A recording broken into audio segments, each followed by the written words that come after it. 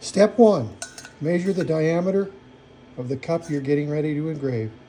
Step two, you want to measure the engraving area. Step three, make sure you input the object diameter into your rotary setup. Step four, generate your template. This template is for designs on opposing sides. Step five, set your layer for your engrave. Step six, mark the opposite side of your tumbler. You want to put a pencil mark right here.